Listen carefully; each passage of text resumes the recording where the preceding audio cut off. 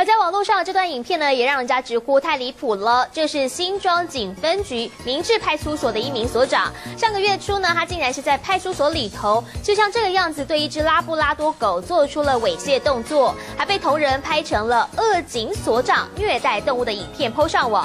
现在这个所长事后坦诚了自己的行为很不恰当，而新庄警分局知道之后是很生气，怒斥这太荒唐了。你认为呢？会引来社会大众的恶劣观感。